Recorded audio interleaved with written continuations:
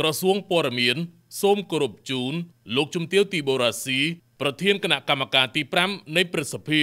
លោកជំទាវជាទីគោរពខ្ញុំបានទទួលរួចហើយ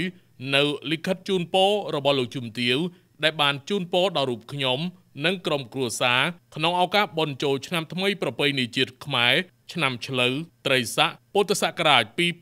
2565ដែលនឹងឈានចូលមកដល់ខាងមុខនេះ ខ្ញុំនិងភរិយា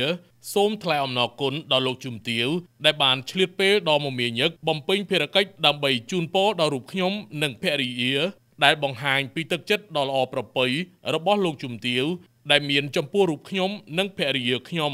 នៅក្នុងឱកាសបុណ្យចូលឆ្នាំថ្មីប្រពៃណីជាតិខ្មែរឆ្នាំឆ្លូវត្រីស័កពុទ្ធសករាជ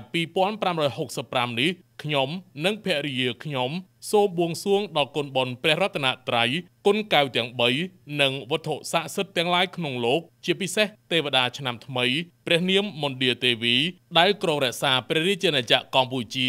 សូមយាងប្រសិទ្ធពរជ័យបវរមហាប្រសើរជូនដល់លោកជំទាវនិងក្រុមគ្រួសារ ទទួលបាននូវសុខភាពល្អបរិបូរណ៍អាយុយឺនយូរធម្មពលខ្លាំងក្លា ប្រាជ្ញាវាងវៃ